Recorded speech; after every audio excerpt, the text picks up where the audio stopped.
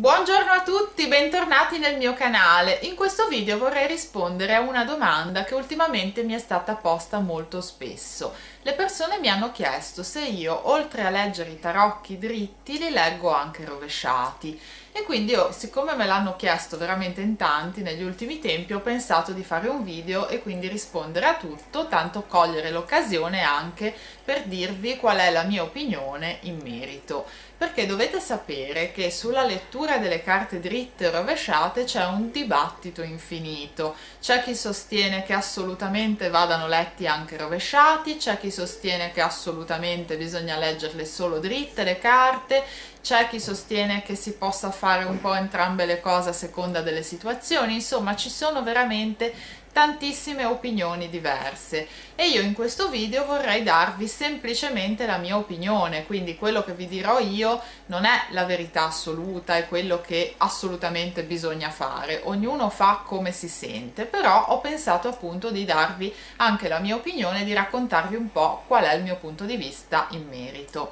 Intanto dovete tenere presente una cosa, ci sono tantissimi metodi di lettura delle carte, ce ne sono veramente tanti, alcuni eh, addirittura ne hanno inventato di nuovi, quindi ci sono persone che magari utilizzano un loro metodo di lettura molto personale, che magari hanno ideato loro stessi, quindi ci sono veramente tantissimi tantissimi metodi di lettura e quindi ognuno a seconda del metodo di lettura che utilizza, dell'approccio che utilizza, sceglie se leggere le carte dritte o rovesciate. Quindi tenete sempre presente questo, non esiste un metodo unico, universale, esatto e che vada bene per tutti perché non è assolutamente così. Come la penso io? Dunque, io penso che eh, leggere le carte rovesciate sia un modo per andare a confondere un po' la simbologia. Perché?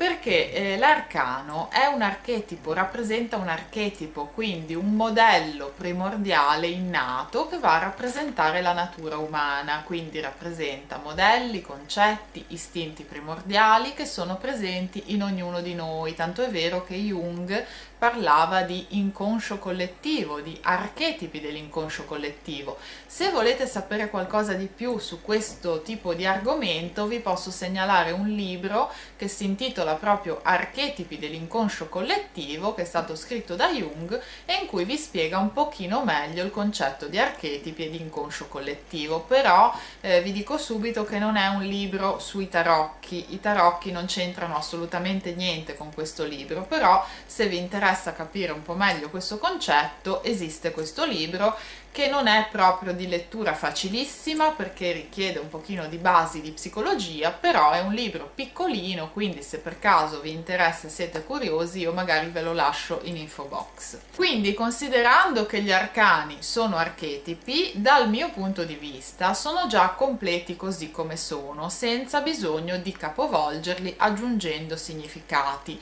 perché lo scopo di leggere la carta rovesciata è quella di dare significati ulteriori a quelli che hanno già perché noi abbiamo 78 carte dritte, se noi le rovesciamo avremo 78 carte rovesciate e quindi altri 78 significati che in tutto fanno 156 e quindi avremo tantissimi significati. Però dal mio punto di vista, per quello che è il mio approccio, non mi serve avere tanti significati, mi serve riuscire a trovare quelli giusti in quella specifica stesura. Quindi per me, per quello che è l'approccio che utilizzo io, sono sufficienti 78 arcani così come sono perché la simbologia mi dà le risposte che mi servono lasciandola esattamente così com'è senza andarla a rovesciare e questo è il motivo per cui io personalmente leggo le carte dritte e non le leggo rovesciate. In generale comunque il significato che viene dato alle carte rovesciate è quello di blocco o comunque di significato opposto rispetto alla carta dritta, più o meno in linea generale sto dicendo ovviamente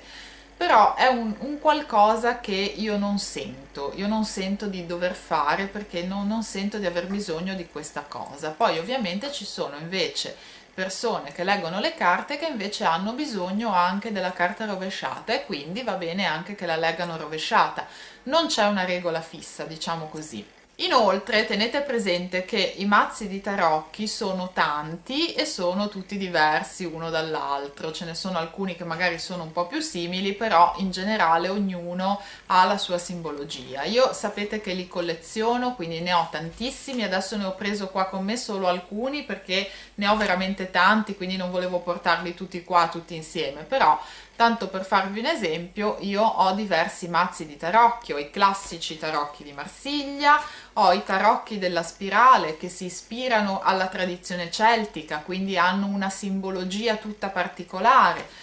Poi ho i tarocchi degli angeli, che sono i cosiddetti mazzi tematici e quindi magari vanno utilizzati ehm, per un determinato scopo, per una lettura sicuramente più introspettiva, più spirituale, quindi ovviamente sono legati a una simbologia tutta particolare, soprattutto questi degli angeli, ho fatto un video se volete andare a vederlo, hanno proprio una simbologia particolare. Poi ho i classici tarocchi dei Visconti, che sono quelli più antichi, ho fatto un video anche su questi se volete vederlo poi ho i tarocchi Rider White, quindi anche di questi ne abbiamo già parlato, poi ho l'antico tarocco italiano, ma ne ho anche altri tipi, ho i tarocchi egiziani, ho i tarocchi del Graal, insomma ho veramente tantissimi mazzi di tarocchi e ogni mazzo ha la sua simbologia. Quindi a seconda del mazzo che sceglierete di usare tenete presente che eh, ci sono dei simboli particolari che voi eh, sicuramente dovete andare a tenere presente. Quindi